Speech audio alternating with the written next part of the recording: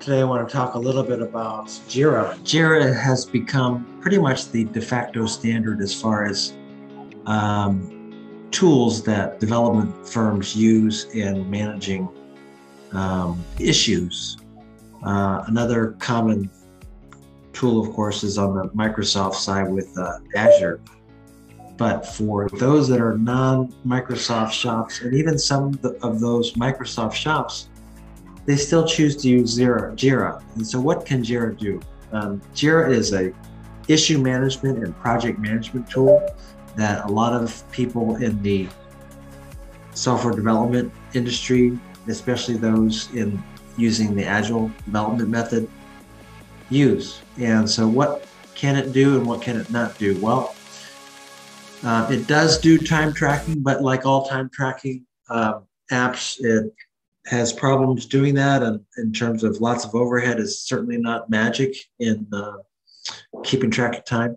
It does do workflows very well. So if your company has workflows of people doing one thing to the next and being involved in different roles and you want certain checkpoints it's great for that. One of the things that's very powerful about Jira is that it can be configured to do anything. So while that's very powerful, it's also a problem because that means you have this huge toolbox, right? And you don't know exactly how to use it. There's just so many tools in there, right? And so what ends up happening is a lot of companies get Jira and they possibly use the out of the box configuration. So we've worked with many, many companies and we go in and we see what how they're using Jira. And because it can do everything, they have it doing just about everything. And it's often not standardized in the way that they're doing things. And so, what we recommend is to really use the KISS approach.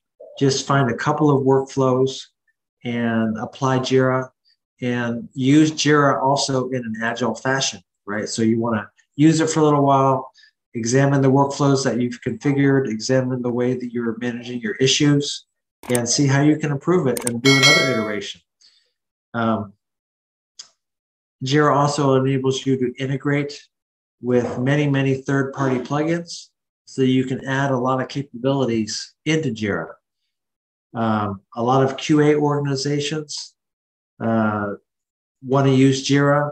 And like I said earlier, Jira is issue management, which means you can manage an issue and a defect is also an issue, right?